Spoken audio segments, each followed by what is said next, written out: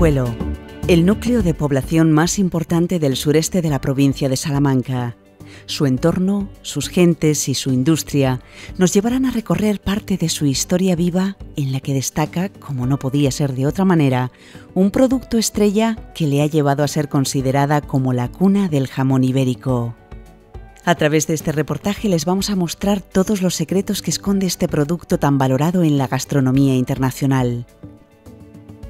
El clima frío y seco de los inviernos, junto a mil metros de altura, y su situación natural en las estribaciones de la Sierra de Gredos, a unos mil metros de altura al nivel del mar, hacen de esta localidad el hábitat ideal para su curación, determinante a la hora de sellar una calidad inigualable en esa magnífica obra de arte culinaria. Conoceremos con detenimiento todo el proceso de su elaboración, desde el campo hasta su consumo final, incidiendo en cada detalle, para que perciban de primera mano cómo la industria ha conseguido mantener las tradiciones de sus antepasados con la calidad y modernidad que se exige en pleno siglo XXI. Nadie mejor que su alcalde, Julián Ramos, para presentarnos este lugar tan especial, conocido internacionalmente por sus ibéricos. Es un municipio que tiene una población cercana a los 6.000 eh, habitantes y plenamente dedicado pues todo el municipio, y no solo el municipio de Guijuelo, sino también pues toda la comarca a lo que es el, sector y la industria eh, del ibérico. Guijuelo cuenta pues en torno a unas 200 industrias vinculadas de alguna u otra manera o relacionadas con, el mundo del ibérico y eso demuestra ese número pues el enorme potencial que tiene Guijuelo eh, con respecto este, a este sector. Más de 200 empresas al servicio del ibérico para entregar al consumidor un producto de máxima calidad. Un lugar donde se trabaja sin cesar para cumplir con las nuevas normativas que hacen evolucionar a una industria imparable. Y es que en Guijuelo se sacrifica más del 60% del ibérico producido en España, aspecto que genera empleo a múltiples familias que viven por y para la fabricación del calificado, en varias ocasiones, como mejor jamón del mundo. Siempre Guijuelo se ha caracterizado por tener una población joven, es un punto de, trabajo, ha sido un punto de trabajo en toda esta comarca, en una comarca pues quizás de las más desfavorecidas de, Castilla y León, por su, pues, además por los condicionantes eh, físicos de la propia eh, meteorología, en, puntos de, altitud donde lo único que, se explotaba o lo único que podía, a lo que se podía recurrir era la ganadería, al final era muy residual y como tú bien has comentado, pues siempre se ha atendido pues, a, la despoblación en todas estas zonas. Y Guijuelo en eso ha sido pues, un caso atípico, en, ese, sentido, ha sabido mantener o ha podido mantener, incluso, incluso aumentar esa población eh, precisamente por su industria. A continuación les presentamos al protagonista principal de nuestro reportaje, el cerdo ibérico una raza autóctona de la península ibérica que se cría en libertad, con las mejores condiciones para su desarrollo y siempre con la máxima higiene. Las encinas son el complemento perfecto para este animal, que vive en amplias dehesas en las que desarrolla su conformación natural, sin lugar a tintes artificiales. Una cuidada alimentación desde su nacimiento es la clave para un crecimiento a la altura de las elevadas exigencias de los chacineros guijuelenses. Una de las fincas más importantes se encuentra a unos 20 kilómetros de la villa chacinera, Los Balondos, a la ribera del río Tormes, con más de 430 hectáreas dedicadas íntegramente a la cría del cerdo ibérico, donde se controla minuciosamente el proceso, desde su nacimiento hasta la hora de su sacrificio. Este maravilloso paraje pertenece a una de las empresas punteras de Guijuelo, Beer, Bernardo Hernández cuida cada detalle para obtener los mejores resultados de cara a los cada vez más exigentes consumidores. Tanto es así que ellos mismos se encargan del cultivo de la cebada, el maíz, el trigo y la soja que los propios animales consumen, para mantener así un control total y absoluto de su producto estrella.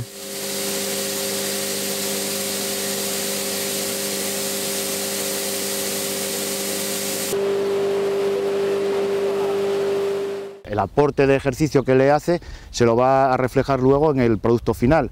El que coma, esté comiendo hierba, el que esté comiendo productos naturales, cereales, eh, pues va a darle una calidad eh, superior. Es un cerdo un poco más complejo de manejar, pues porque como veis están corriendo, van a gastar más energía, van a necesitar más tiempo para hacerse, pero la finalidad eh, es, es, apostar por un máximo de calidad en el animal y en el producto final que va a la mesa, claro. Mención especial merece el tratamiento de las hembras reproductoras apartadas en lugares exclusivos con el fin de vigilar de manera intensiva su día a día en el campo. Los lechones conviven con sus madres durante sus tres primeras semanas de vida y a los dos meses de su destete pasan al campo para continuar con su ciclo vital en el lugar idóneo para su desarrollo. Las madres de mejor nota pasan hasta tres años pariendo entre dos y tres veces cada año. El tiempo de gestación estimado es de 114 días. Normalmente aquí en la finca es donde está la sala de parto y donde están las madres. cuando están en gestación, cuando, se las desteta y aquí tenemos todo. Tenemos los lechones que se destetan también aquí, luego desde aquí pasan a las, a las fincas, los distribuimos y es donde se le termina de, de dar de comer y aguantarlos todo el tiempo hasta que llegue la época de la bellota. A las tres semanas se desteta el grupo que haya, de, que haya nacido en las tres semanas. Luego ya se destetan, suelen estar dos meses cerrados en las salas de destete y ya salen luego al aire libre, al campo. Cuando mejores crías dan es a partir del segundo parto. Segundo, tercero, el quinto y el sexto, luego ya el octavo ya y eso ya, ya van siendo también más flojos. Luego tenemos una sala donde están las gestantes y esas hay unas máquinas que las da de comer una vez al día y tienen la curva hecha de alimentación que a medida que va pasando los, los días de gestación la va aumentando ella sola la, la, cantidad que debe de comer cada cochina. De hecho, pues mm, se ve la cochina que admite más alimentación, se le puede dar más o menos, se le puede regular la, la alimentación. Nos preguntamos cuándo y por qué llegó a Guijuelo la industria del jamón ibérico. La historia hace de este un lugar especial para la curación de este producto por sus condiciones naturales, como hemos indicado al inicio del reportaje, y su situación en plena Ruta de la Plata, que hizo de esta localidad un punto de referencia comercial. Era un paso en la Ruta de la Plata, era un, lugar de, peregrinación de, todo lo que eran esos arrieros que subían de norte a sur y hacían el recorrido de norte a sur y de sur a norte, pues llevando todas esas mercancías. Y Guijuelo sí que pues tuvo un enorme, un enorme número de, personas que se encargaron de eso, justamente de comprar, comprar determinadas eh, mercancías y determinadas eh, pues, eh, materias primas en puntos del sur y se encargaban de trasladarlo pues hasta la zona de, Zamora, incluso se llegaba hasta Asturias. De ahí vino pues esa, yo creo que esa, esa eh, imperiosa necesidad de comercialización en una zona que estaba pues apartada quizás eh, de todo, pero ubicada en lo que era ese corredor de la Ruta de la Plata, lo que se le sirvió pues para que muchas personas se lanzaran pues a, esa iniciativa, no la de la comercialización. Y yo creo que de ahí vino pues de lo que empezó a, en un principio a sacrificarse pues eh, cuatro animales en un municipio, al final se convirtió o en esas matanzas caseras que se hacían en un, en un principio se convirtió en un referente en un referente de comercialización y venta de este producto en todo ese corredor. La historia y el duro trabajo de sus vecinos ha ido posicionando a Guijuelo hasta la cabeza en la producción y venta del ibérico. Un aspecto determinante para que la población sea cada vez más joven y los efectos devastadores de la crisis hayan permitido una recuperación con buen ritmo y de manera consolidada en el tiempo. Hemos atravesado estos dos últimos años pues un periodo de dificultades donde se ha visto pues una dificultad enorme la que han tenido pues las industrias para poder operar y para poder eh, seguir en, el mercado, pero se ha tratado de mantener toda esa carga de trabajadores y tampoco se ha visto y ahora ya sí que se ve una recuperación enorme de lo que era pues ese sector eh, laboral. Se empieza a ver que las eh, industrias empiezan a, reclamar pues eh, personas para poder trabajar y quien está en edad de trabajar siempre es gente joven. Por eso Guijuelo siempre ha sido pues un, un, municipio joven y un municipio que ha mirado en su día y miró para el futuro y que tiene ahora mismo la misma intención, seguir mirando para adelante.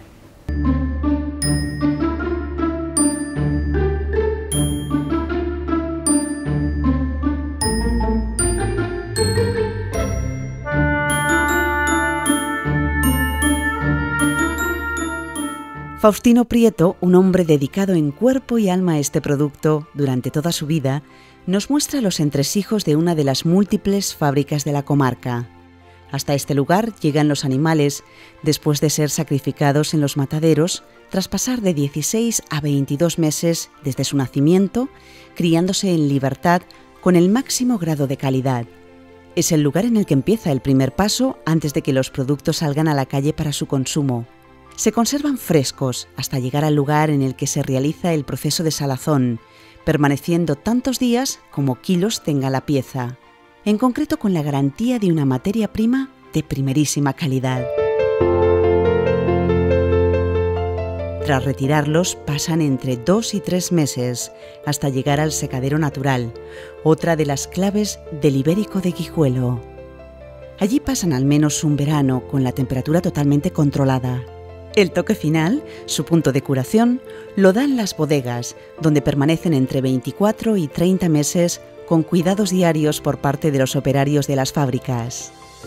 Guijuelo y su jamón mantienen el máximo nivel de calidad en su producto.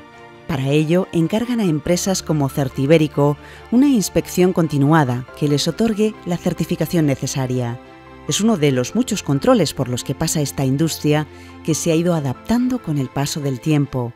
La entidad inspección lo que consiste es en controlar toda la producción, pero a nivel animal, desde que los animales nacen, entran en la fase de cebo y salen a sacrificio. Es el control que deben hacer, aparte del factor racial, es decir, de dónde proceden los progenitores de los lechones, que son los que van a ser finalmente pues el, animal que va a ir a sacrificio, y los lechones que van a llevar una alimentación, que en este caso, pues aquí ya aparece lo que se conoce en norma de jamón de bellota, jamón de, cebo, de cebo de campo, pues todo eso es lo que controla una entidad de inspección.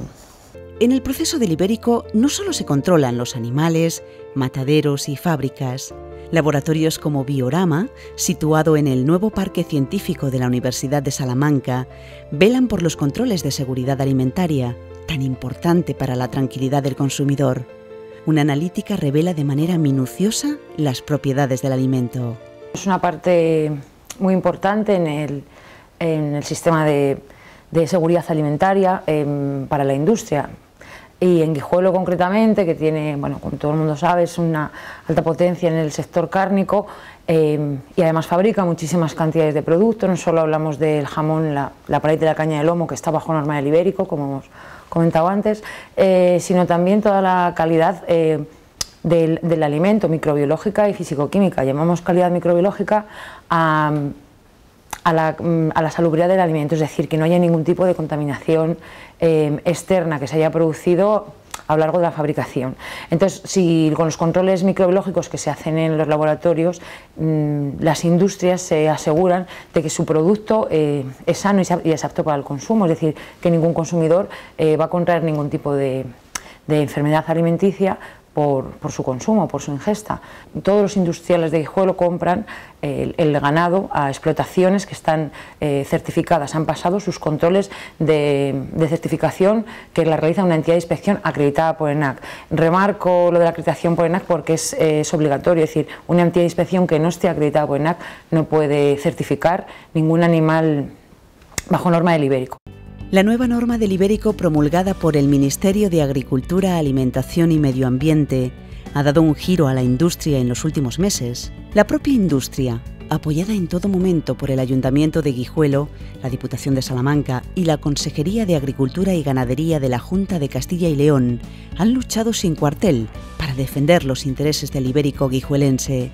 Se ha sabido reconocer en todo momento la calidad de su producto, su impacto económico y la norma se ha llegado a modificar en diferentes puntos tras las reivindicaciones del sector, ya que se consideraban injustos algunos puntos del nuevo reglamento. En un principio eh, lo que en su día se planteó como lo que era la, norma de calidad del ibérico sí que ha sufrido pues, eh, diferentes modificaciones y siempre esas modificaciones pues por las propias reivindicaciones que hacía la industria y por las propias reivindicaciones que se hicieron también desde el Ayuntamiento de Guijuelo, la Diputación y especialmente la Junta de Castilla y León.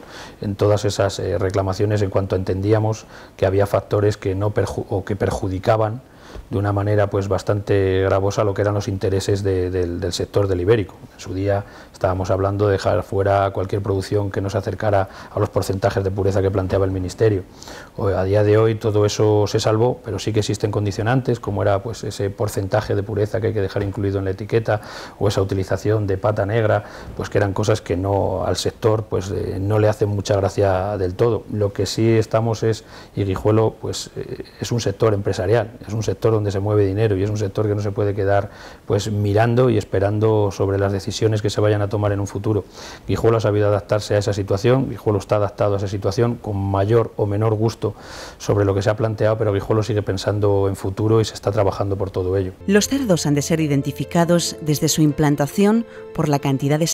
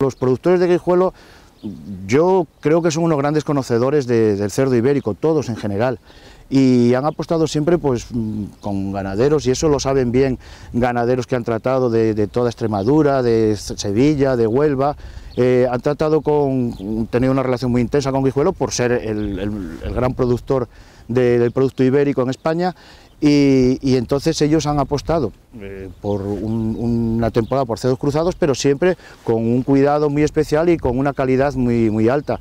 Eh, pues entre otras cosas, precisamente eh, porque les gusta, les gusta el mundo del, del, cerdo ibérico, les gusta presumir de un buen producto y yo creo que eso se ha conseguido durante muchas, muchas épocas.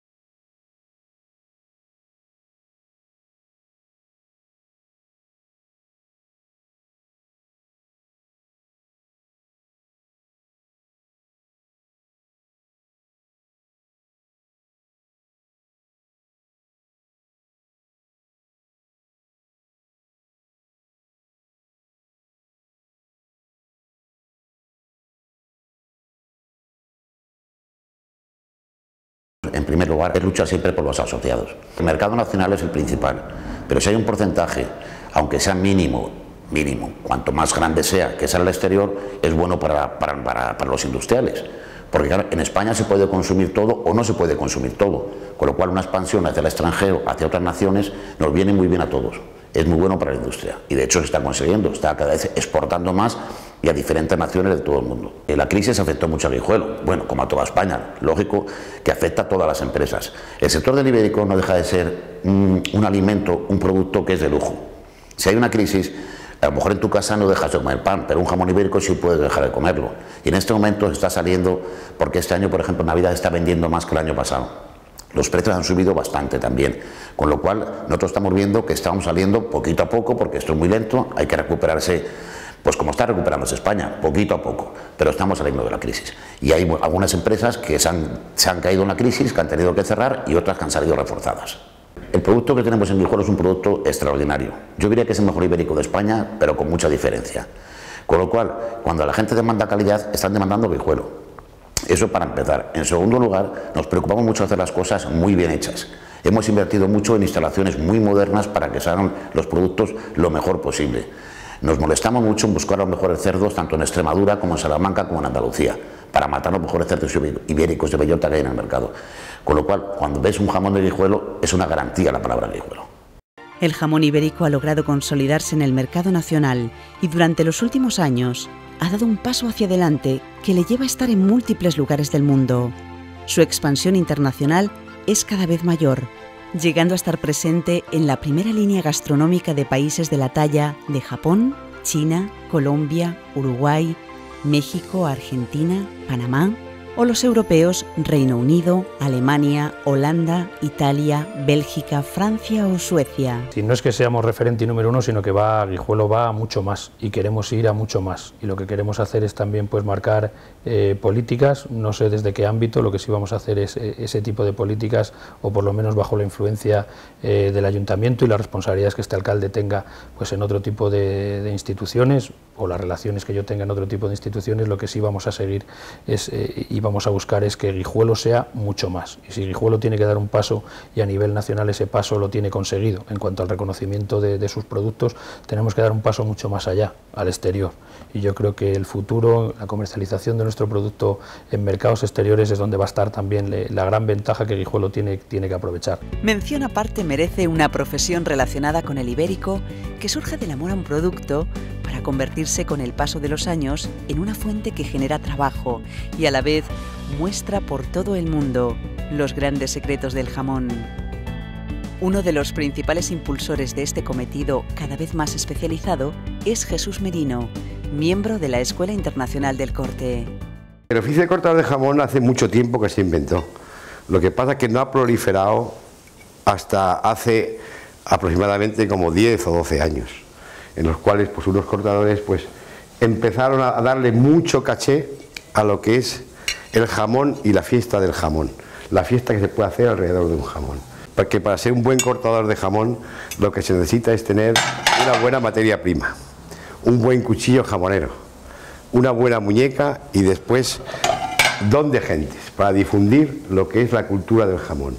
Uno de los manjares más exquisitos que hay que un cortador tiene que ensalzarlo, un cortador tiene que levantarlo, un cortador tiene que mimarlo, un cortador tiene a la vez también que defenderlo y difundirlo, porque esto de cortar jamón es un arte.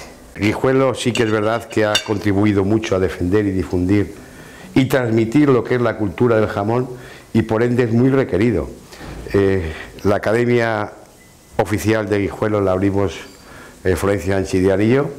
Eh, en ella han pasado pues quizás 400 o 500 eh, chavales que han aprendido, unos profesionales, otros semiprofesionales, de hecho ya hay tres que han sido campeones de España de corte de jamón. Y desde el 2009 pues llevamos ahí lo que es transmitiendo la cultura del jamón que es muy importante.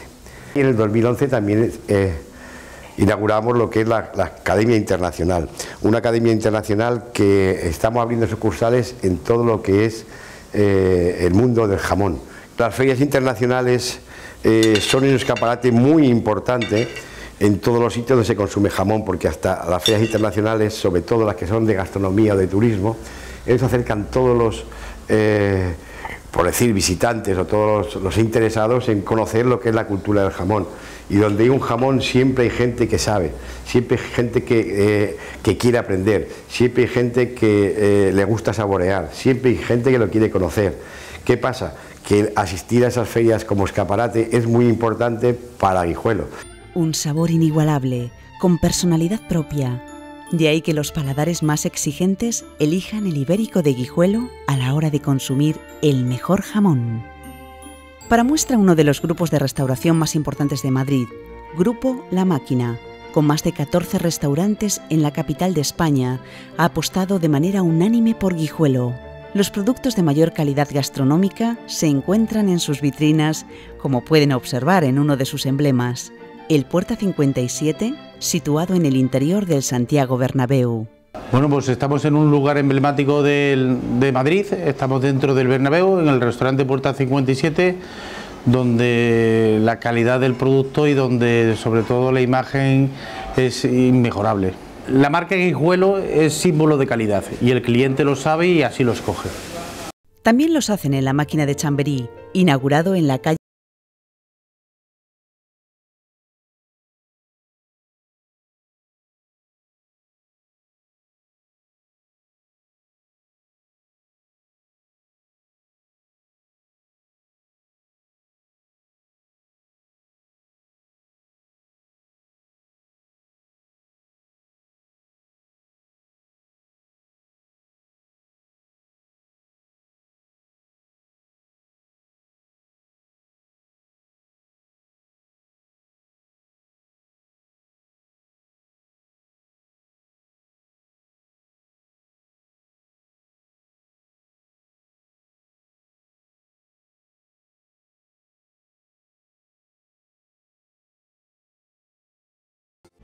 A los mejores restaurantes también hay que sumar el apoyo de los cocineros más reconocidos de nuestra cocina, una de las más prestigiosas del mundo.